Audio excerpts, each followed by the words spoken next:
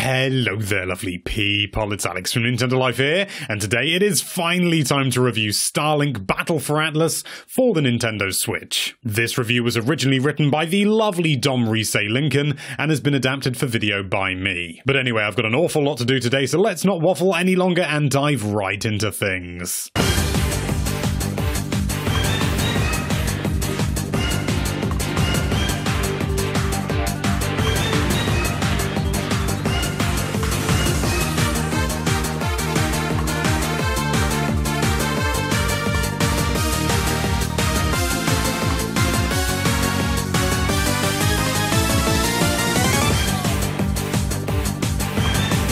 Takes guts to try and revive a dormant genre, especially one that burned bright in the zeitgeist before extinguishing itself just as quickly. Activision and Harmonix tried such a feat with Guitar Hero Live and Rock Band 4 back in 2015, but their hopes of a resurgent rhythm action craze never found the spark it needed. And yet here we are in 2018 with a new Toys to Life game from Ubisoft of all people. With Disney Infinity and LEGO Dimensions now banished to bargain bins all over the world, and Skylanders on an indefinite hiatus that's seemingly destined to endure the same fate, in swoops Starlink Battle for Atlas with its plastic weapons and modular ships. But while Skylanders always struggled to feel like a proper action RPG experience beyond the gimmick of its expensive peripherals, Starlink's use of NFC chipped spaceships doesn't define it. In fact, the need to rely on physical items is entirely optional, but the different versions available for purchase do somewhat muddy the waters regarding what you actually get. The starter pack, for example, only allows you to play as two pilots, thankfully one of those is our boy Fox McCloud, and with two ships. The standard digital version unlocks more, but naturally without the toys, and the deluxe digital version unlocks everything from the get-go, but again without any toys. Luckily, it just so happens to be an engaging and rewarding mixture of dogfighting and space exploration right here on Nintendo Switch, plus a little thing called uh, Star Fox? Anyone? In practice, it's what No Man's Sky should have been when it launched in 2016 a vast open planetary system of planets, asteroid fields, outlaw outposts, and cosmic secrets. You can hold R to enter a hyperdrive at any time while in space, and you'll instantly zoom through blankets of space rock, burn through a planet's atmosphere, and touch down on its surface in real time. No loading scenes or cutscenes, unless you fast travel, that is, just the transition from dogfighting to exploration in a matter of moments. You can't can't ever leave your ship, but even confined to the cockpit of various vessels, the sheer scope of its setting really evokes a Mass Effect vibe. Powered by the Snowdrop engine, which is the same one used for Mario and Rabbids Kingdom Battle, exploring the titular Atlas system is a cosmic dream. The developer, Ubisoft Toronto, of Splinter Cell Blacklist fame, has had to make some noticeable graphical sacrifices to get the multi-open world sandbox such as this working on the Nintendo Switch, including noticeable downscaling in places and rasterized edges on a number of assets, but it's entirely worth it for a game with little slowdown. It does look a little visually inferior to those iterations found on PS4 and Xbox One, but it's still a strikingly vibrant place to inhabit. And honestly, did I mean, did you expect it's a weaker machine? Did you expect anything less? Sunsets still glare the amber effervescence on the horizon, and planets hang like beads of glass amidst an ocean of stars, gas, and detritus. Ports are always going to have to make some sacrifices to operate on Switch, but with skies that turn from red to blue and draw distances that are impressively broad, Starlink is far from a broken counterpart to its PS4 and Xbox One versions. Planet topographies can sometimes become a little bit repetitive. There are only so many rocky valleys and flowing dunes you can glide across before you've seen them all, but every hand-designed world still has its own distinct character. There are seven planets in total to explore in one large planetary system, which technically makes this Ubisoft's biggest open world yet. Its story isn't the most memorable of plots and is easily the weakest link in Starlink's armor. You'll play one of seven pilots who find themselves serving as the only defense against the zealous plans of the nefarious baddie Grax, who, in true bad guy fashion, is using an army of alien robots known as the Forgotten Legion to take over the universe. The story might be quite cliched in execution, and some of the characters are never properly fleshed out, but thankfully the voice work is decent, so it's an enjoyable, if predictable, ride. This is where the Toys to Life aspect comes in If you're buying the starter pack on Switch, you'll get a ship and two pilots, namely the Switch exclusive Arwing and Fox McCloud, which is uh, is just a little bit special. But don't worry, we'll get onto that momentarily. The other pilot is Mason Rana, but you'll also get a copy of the game, two additional weapons, and a special mount for your Joy-Cons that makes the whole thing work. The wings are detachable, so you can mix and match the parts from multiple ships and weapons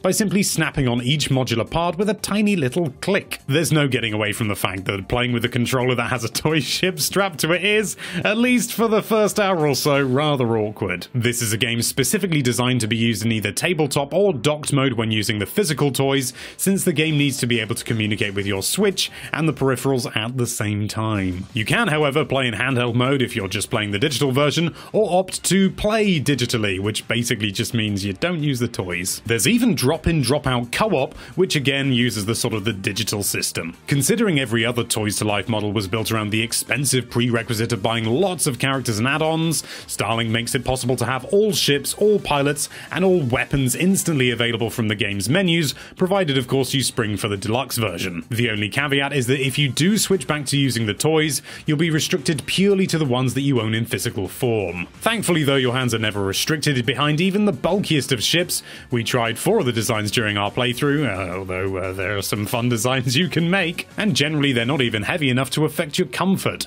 but you will look a bit of a plonker controlling a game whilst a toy spaceship lights up on the tip of your controller. Pilots snap into the front of the grip and serve as traditional character builds with their own skill trees and leveling systems. Pilots even have a unique ability that can be a real lifesaver in battle, being able to call down another Arwing for support as Fox complete with the original Corneria theme from the original Star Fox. Oh god, it's lovely. Never fails to bring a smile to our faces. Ships, on the other hand, are more like lives, much like Skylanders models, and can only take so much damage before they're defeated and can no longer fly and need to be repaired. If you're playing digitally, you can just swap one vessel out for another, but if you're playing physically with the starter pack only, you'll need to walk back to your giant starship in orbit, the Equinox, and start over. Thankfully, it doesn't take long to traverse the game's surface, and with a handy map for each planet that slowly reveals itself as you explore, you rarely feel like you're having to backtrack too far to reach the battle that you previously lost. You can swap wings and weapons at any time, whether with a physical toy combination or via the good old fashioned menus, and it's here that players of any age can get creative with their imagination. Snap a weapon on backwards and it'll shoot awkwardly in that direction on screen, if you fancy. Twist a wing in the opposite direction and your ship will show its unique take on modular design on screen. Basically, anything goes. You can even add multiple different wings onto one another, creating some absolutely ludicrous looking machines that can actually be surprisingly useful in practice. It's very silly and it's reminiscent of Skylanders Swap Force's take on combining characters. Swapping wings and bodies will also affect the stats on your vessel, so make sure you keep an eye on them rather than just going gung-ho with whatever looks the most ludicrous. Weapons come in multiple varieties, ranging from frost-based missile launchers to cannons that create gravity vortexes, but the real fun comes in combining these attacks into one. With the Forgotten Legion often coming in in their own fire or ice-based forms, you'll need to mix up which two weapons work best in tandem. Firing a gravity vortex with a fiery Gatling gun will take on ice-based enemies in seconds, whilst hitting them with their own element will really do not much at all. Swapping out these weapons can be a little bit awkward whether you're physically snapping them on or doing so via the menus,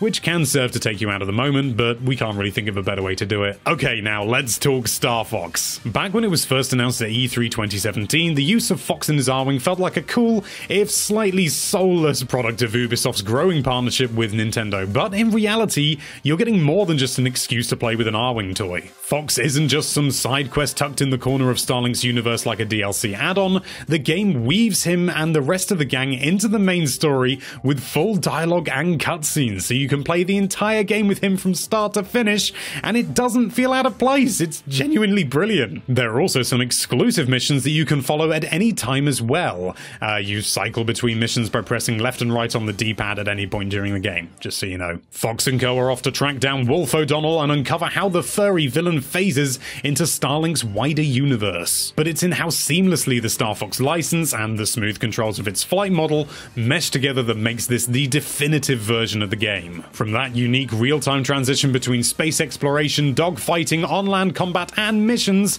to the empowering setup of its control system, the integration of the game and license is so seamless that it's hard to imagine playing Starlink without an Arwing. It's a far cry from the arguably awkward control scheme of Star Fox Zero, and is easily the most enjoyable entry in the series since Lylat Wars, if you count it as part of the series. If Nintendo isn't making a new Star Fox at this stage, the incredible work Ubisoft Toronto has done evoking the classic days of the franchise should be all it needs to fast track its proper return to Switch. As we've mentioned before, gameplay flits between space-based dogfights and planet-based exploration. You'll need to use your hyperdrive to reach far-off new planets, which avoids any sort of monotonous wait by periodically presenting you with a potential pirate ambush. The purplish vortex you're traveling through will turn into a wall of energy, and you'll need to fly through the gradually smaller within to avoid the trap. If you do get caught, then you'll need to fight a squadron of enemy fighters. Flight controls are incredibly easy to master, and it'll be mere minutes before you're looping the loop and zoning in on other ships to blast them into atoms. Enemy ships are always clearly marked, and there are always other markers and signposts on screen to ensure that you know how many enemies are left in a given battle. You can even take on much larger dreadnoughts, which serve as space-based bosses, making for some epic encounters that will test your flight skills time and time again. On land, your ship will assume a hover mode where you'll be able to skim across the planet's surface, exploring and engaging in combat and other activities. This is where you'll spend a vast majority of your time in Starlink, and it's here that a few of the cracks begin to appear in the gameplay loop. As you'd expect from an Ubisoft game in 2018, Starlink has plenty of RPG leveling mechanics, and you'll need to encounter enemies with gradually higher levels as you push further and further into the game. However, in order to meet these levels, you'll need to grind, and that means defeating imp hives and all sorts of other things which can be turned into outposts. Outposts can then be used to access missions, which in turn nets you XP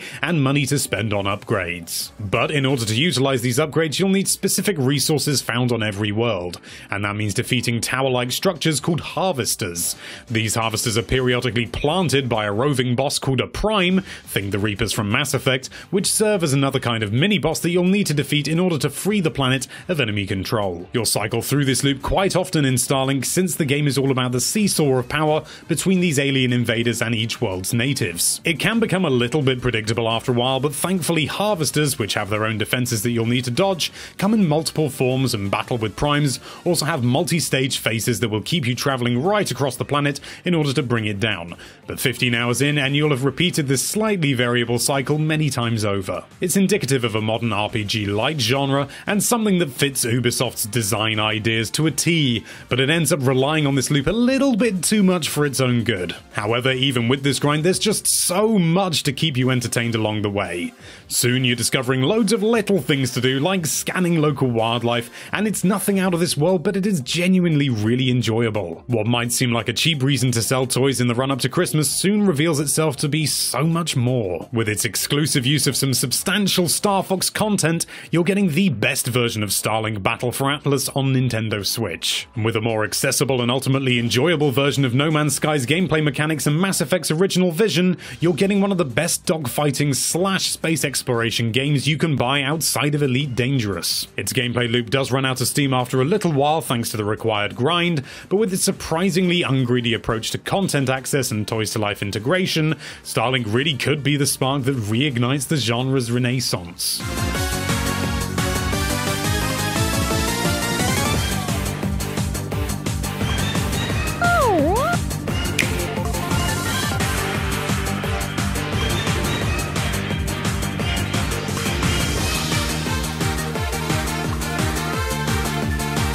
Okay, it's Rambly time, and I know I didn't do one in the last review, but I wrote that one, so I sort of felt like I'd said everything I could.